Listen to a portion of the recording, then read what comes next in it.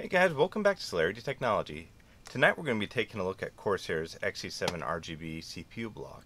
This is Corsair's entry into the water cooling market and I recently did a review and unboxing of both their D5 pump reservoir combo as well as their GPU block. Um, I wanted to do kind of a review of this as well as an unboxing because people like that and well here we go. So as you can see Corsair has really brought their marketing prowess to water cooling. Most water blocks that you see are generally water cooling in general for custom loops. Tends to be pretty bare um, with some graphics, but never like this good in my opinion. So it's just cellophane, and it kind of reminds me of the old PC game boxes, maybe a little bit smaller, but that's kind of my first impression. I would have done this earlier, but um, I think they've actually done really well in selling these. That they had issues um, getting to me, getting one to me on time. I pretty much had it, quite a few of the other parts, and I guess it's selling like hotcakes. So there's the back of it. Sides, they have this super chilled, and then Okay, and I can't even do, I need sharper. So here we go. And here she comes. Box removed. So as you can see, we have the manual that will tell you how to do this. This is for both the LGA um, 1155X, which um, is kind of a wild card, and AM4. And it will work on probably AM3, but why would you want to do that? Then you have your little warranty guide. And then back, you know, kind of onto what's really important, you know, the block itself. So this is kind of interesting. So it looks like it uses something similar to what Asetek uses. Um, looks like for the AM4 mount. And back back plate for it, and then you have the mounting hardware. And then we have the CPU block. And it does have pre-applied um, paste on the on the block itself. And it's kind of your standard run-of-the-mill. It, Well, looks like, first of all, looks like kind of a little happy face. The guy's kind of smiling right there. At least that was my first impression of it. Um, I think this is the in import and this is the out. Um, it does have a, a, specific in and out because it does have a jet plate. Um, just in general, um, you're going to find out if you look into benchmarks, um, you're going to find out most modern CPU blocks perform relatively the same.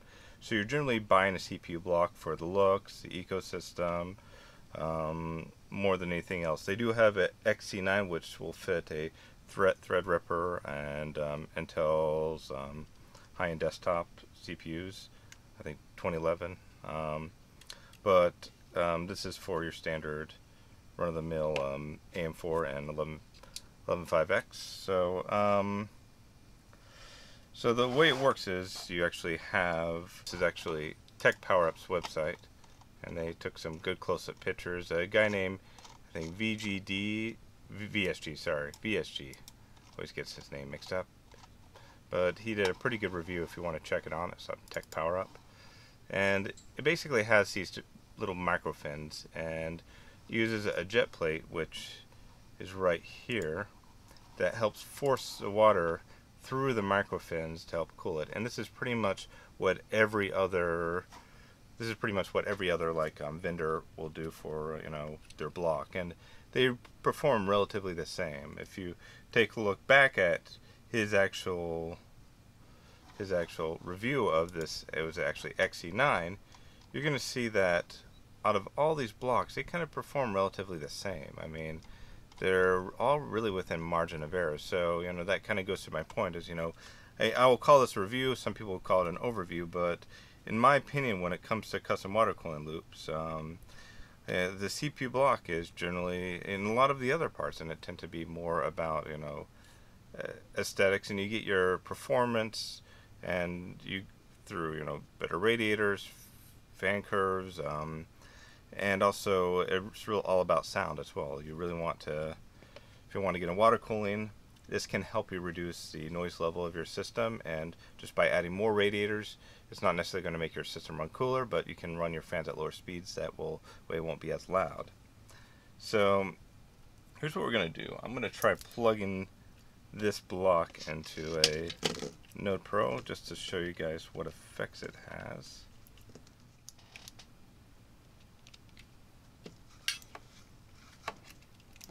So here's the lighting on it.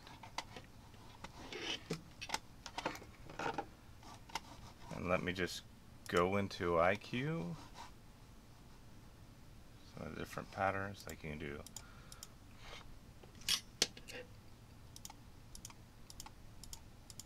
all these different wonderful patterns. You can so static lighting, temperature, visor. So right now I'm just using iCUE for this to play with it.